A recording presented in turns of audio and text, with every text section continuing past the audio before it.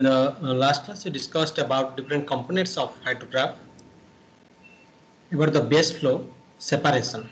The three methods of base flow separation that we discussed. In today's class i will continue that hydrograph module and that base flow separation i will i will solve some problems on that base flow separation. The first problem that is the in the following plot uh, are the ordinates of a hydrograph of flow from a catchment of area 77 770 square kilometer due to a 6 hour rainfall. Derive the ordinate of DR, DRH. Make suitable assumption regarding the base flow. Okay. Means here 6 hour rainfall. Rainfall is occurring 6 hour rainfall hydrograph total rainfall duration is 6 hour okay 0 to uh, the, the discharge okay. The time from the beginning of the storm and the discharge 0 6 12 18 24 36 up to 40 up to 72 72 hour okay. 0 to 72 hour the discharge data is given okay. So rainfall is occurring for 6 hours. It does not mean if rainfall is occurring for 6 hours, then discharge will be for 6 hours. Okay, discharge means flow will continue okay. Till it will become uh, your base flow till it will become minimum. It will continue continue it will continue till till this it becomes base flow okay. So catchment area is given 770 square kilometer. Here base flow separation if you will do by the straight line method let's first the straight line method okay. N we have to calculate. The n which is the the distance of the uh, from the peak time of peak. This is the n is the distance from the time of peak to the point here in the recession curve. That is b point. A point somewhere here. From this uh, from where the surface runoff starts a point and here it is b point in the recession curve. That b point is nothing but the end is from this peak ordinate means the from the time of peak and the n is given that is the empirical equation which is given by 0.83 a into to the power a to the power 0.2 and a should be in days and a the catchment area should be in square kilometer. So here 770 if you just put it you will get 3.313 days okay. However here the time is given in hour. So you have to convert it into hour which is 75.26 from hour from the peak. Okay if you plot the hydrograph, this is the hydrograph from the data. This data, okay, the hydrograph is plotted here. It is plotted here. So from given data, with your, with your convenience, base flow is 42 meter cube per second at 72 hour. So here, this is the this is the your A point and the B point will be n days after this peak. Peak is happening at what time? At 24th hour.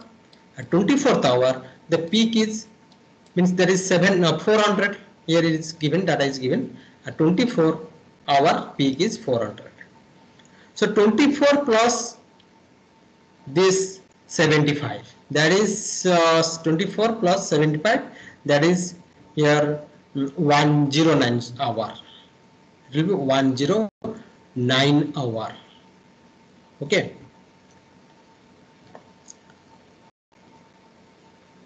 that will be uh, sorry that will be 99 hour. That will be 75 plus 24 that is 99 hour. So here in the plot there is no 99 hour data. So up to 72 okay. So here for our convenience we can take this 72 hour data as base flow here it is 42 this is this is nothing but 42 at 72 it is given 42 so it is not compulsory. There is no hidden rule that n will be taken only at this uh, 0.838 to the power 0.2. Okay, n will be uh, means this b point will be taken only uh, uh, after the n days. It depends upon the this plot, this hydrograph. For our convenience, it can be changed. Okay, since it is 99, there is no 99 point here ordinate. There is no data here the, the plot is up to here it is starting the starting is from 40 and it is uh, ending at 42 So either we can take 40, you can take 40 or we can take 42. Yeah, since it is continuing up to 99 according to this n value, so it is better to take this 42 value. Okay, so 42 it will be for all duration the 42 will be your base base flow. Okay, is the straight line. So here the base flow we have to deduct from the discharge from this flow diagram. 40 minus 42 that is minus 2. Minus 2 means minus is not considered that is considered as 0. That is considered as 0. 65 minus 42 that is 23. Like this this column and this column will be deducted and whatever the value will will be get uh, from this uh, in this column that is the DRH. That is direct runoff hydrograph. Okay. So these are the ordinates of direct runoff hydrograph. Come to next problem. The daily stream flow data at a site having a drainage area of 6500 square kilometer are given in the following table. Separate the base flow using three methods. Using three methods, you have to separate the base flow and uh, to get the direct runoff head of hydrograph. So here also n is calculated. n is 0.83, a to the power 0.2, n is 6500. You will get 4.6 days, approximately 5 days. Okay, you can take approximate value. There is 5 days because in days it is given. So if 4.6 if you take, it will be a problem. Okay, in the calculation. So it is better to take 5 days. Okay. So this is the plot. This is the plot hydrograph plot. Okay, this is the plot. Here peak is occurring at fourth hour, at fourth uh, days, at fourth day. This is in days. Okay, this is maximum, the peak discharge at fourth day. So here discharge is maximum. So n days after four, n is five days. So after four it will be nine days here. It will be somewhere here. So here I told there is no hard and rule that it will be particular uh, n days okay from this peak. Okay. According to our convenience, according to our uh, according to simplify the calculation, we can this we can change this. Okay little bit. Or we can change that we can take that that point also we can take. From this let this is the a point. This also can be taken. This can be also taken. But here here the runoff is little more. You can see runoff is more. That's why it is better if you extend little. Okay if you plot a straight line just a straight line if you plot you will, uh, it will intersect here somewhere here. Okay. Then these ordinates will be base flow. Okay. It's up to the evaluator. He can uh, take this as point okay strictly based on this n days. It can be taken or it can be taken just after this end days. Okay. For convenience for calculation to simplify this calculation. Okay this is the next method scd method. Acd this is the a that is the recession flow recession curve method there is a. Okay. And this point that end point that just now i was discussing the end is after this peak plot this point and this peak are joint. Okay. This point and this are joint. Here uh, this point. This is actually extended back uh, this is uh, extended this point is extended till it intersect this ordinate this p ordinate so from this intersection point and this point b point. This is c point. Okay this is c point this is b point. C point and D, b point are joint so here base flow ordinates can be calculated from this graph. In the third method that means here base flow recession curve is extended here it is extended backward here it is also extended. Okay. It is extended till it intersects this inflection point. Here inflection point is calculated. Okay you have to check where, where the curve pattern is changing. Where curve pattern is changing that point is considered as inflection point. Otherwise there is no particular formula to calculate this inflection point. So this ordinate is plotted plotted and this base flow recession line is extended till it intersect this ordinate and that intersection point and this uh, this recession curve is extended till it intersects this point. Okay. So this is the smooth curve method. So using this method 1, method 2 and method 3, the base flow is calculated. Total runoff that is Q, okay, that is given. And the method 1, the discharge, uh, the base flow is calculated. It is 1600, 1600, 1600.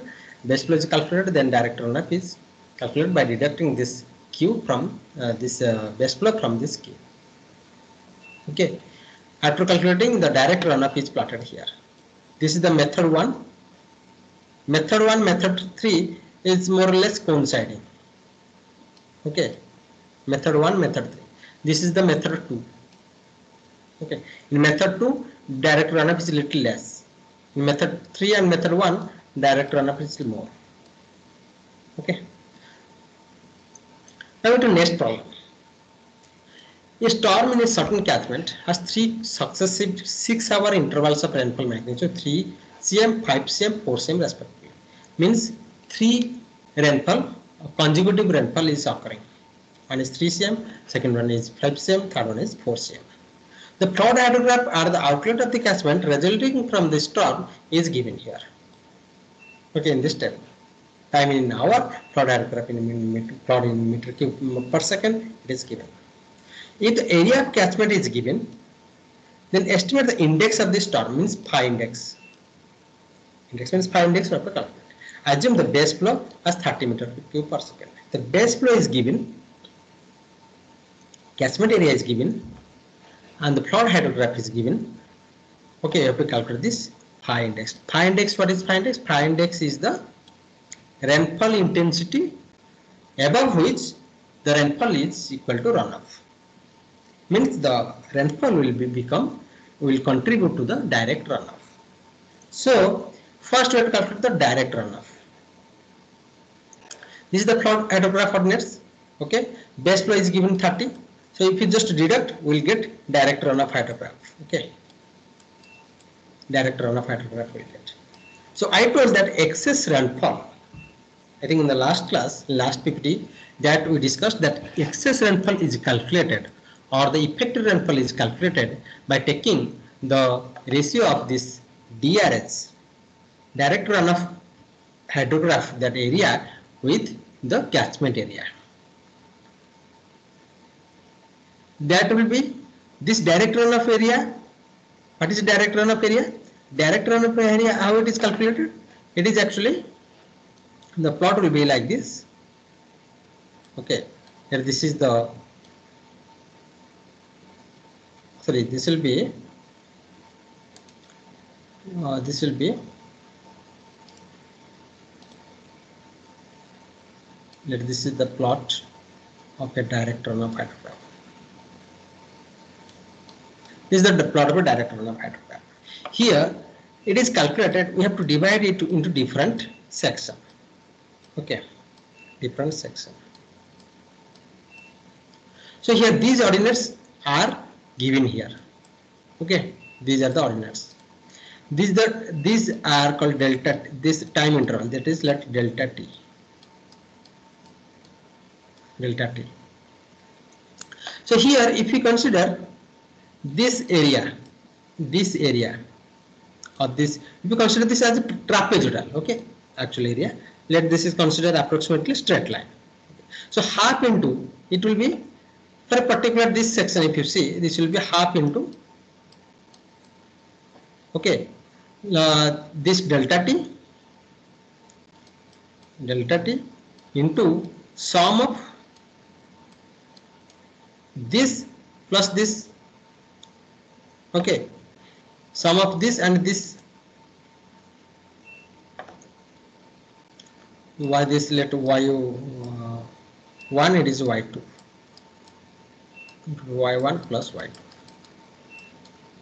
similarly plus for this section it will be let y2 y3 like this half into y2 plus y3 into delta t. Like this if you take the summation of the whole the whole uh, graph then you will get this this 2 2 will cancel. Because y1 will come to it 2 times to y2 will come 2 times because the next plot for the next uh, section y2 will come means 2 2 times it will come. Here for, for the previous section y1 will come two times. For this section this will come two times.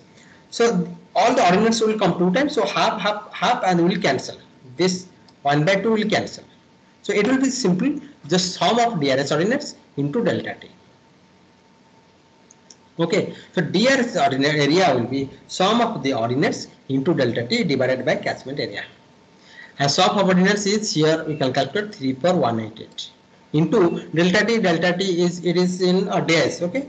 Days delta t 6 days uh, 4 days. It is in 6 days okay? Delta t is in 6 days. 6 days means 6 into sorry it is in 6 hours sorry 6 in hour so meter cube per second discharge in meter cube per second it is in hour so it will be 6 hour will be 6 into 3600 second and catchment area have to convert it into square meter so it will be uh, 0.084 meter, which is 8.4 centimeter. So this is the excess rainfall. This is not phi index. So how phi index is calculated? Phi index that I told that total rainfall is 3 consecutive rainfall 3, 5 and 4. So total rainfall depth minus the phi delta t. Total P minus phi delta t because delta phi is in intensity precipitation per unit time so you have to multiply with delta t to get the depth of precipitation which will be equal to the r surface runoff so here this surface runoff is nothing but this excess rainfall that i am uh, talking here 8.4 this 8.4 will be for this first rainfall it will be 3 minus 6 pi here delta t is 6 hour so 6 pi plus 5 minus 6 pi plus 4 minus 6 pi which will be equal to 8.4. Total surface runoff or the excess rainfall is 8.4 which is equal to this P minus phi delta T. Total precipitation minus this loss.